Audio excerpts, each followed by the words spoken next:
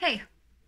The difference between myself and all the rest of the universe is nothing more than an idea. It is not a out there real difference. My name is Amber. This is who I am.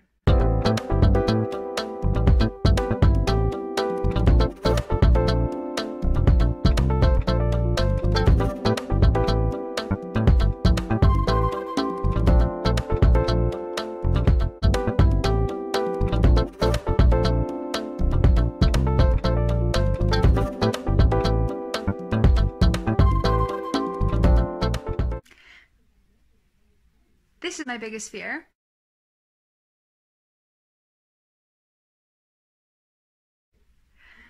And this is who I want to be.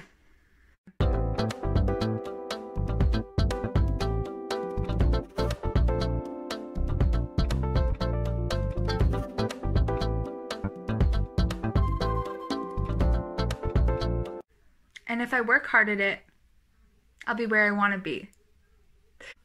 Yeah. So I'm horrified because that being my fear, me telling you this on the most public AF platform there is scares the beep out of me. But I don't want to be that beep. anymore. I want to be someone who's better than that. Better than myself. I want to be the best that I can be. Because that's my biggest fear and that's the shit I am and this is where I want to go. This is what my channel is about. A-Stream. We're going to talk about it. We're going to get into it. And um, hopefully, we're going to shed all that Beep. skin and become that person.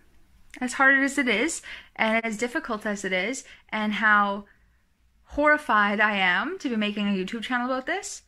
Um, I've always wanted to have a YouTube channel, but I've kind of, you know, had a difficult time just picking a concept because I'm this person who's afraid of, you know, being myself, who has all these different talents and skills, um, who acts differently around different people or different peers. And I know that everybody kind of does that.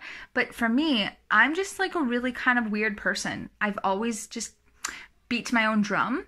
And I think that that's caused like a difficulty in myself. After all these years and wearing all these masks, I kind of like lost myself. And because I want to get to that person, and I was the most happiest in my life when I was truthful and I was honest and I followed my intuition. I'd like to go through the difficulty of doing it. And I've been thinking about what I'm going to make the YouTube channel about for a long, a long time. And it's time just to get down and do it. Um, and I'd like to have this life.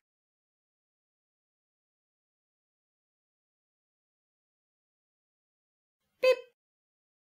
So in order for me to get there, there, there, and there, I think I just gotta be this and do it. It's difficult to be authentic and it's I know for myself it was hella hard to be vulnerable and to cry and to show emotion and to be real it honestly physically hurt me to do that. Like physically deep in my soul, it was crushing. But I realized that being vulnerable and being raw and fuck crying, any of that, I used to say that, oh, it's such a goal of mine to be able to tell a story because I do like public speaking sometimes. Um, to be able to tell a story and cry stoically and beautifully with like tears trickling down my chin. I, I wanted to be able to do that. I always thought I looked like cried ugly and stuff. And then I remember last year my girlfriend came up. She's like, Amber, Amber, you you made it, honey. You cried so beautifully. And I was like, oh my God. But you know what? Actually, that was the wrong goal. I shouldn't have been trying to cry beautifully. I should have been, the goal should have been to be okay in my authenticity and my vulnerability you know, they always say like, careful what you ask for. Don't ask for strength because then you're gonna have to overcome some hard beep. You ain't fucking beep. around. I think I was praying wrong. So maybe by me talking about all my beep, maybe someone can learn from that, or maybe I'll get there. Maybe I'll be able to achieve that and get back to here.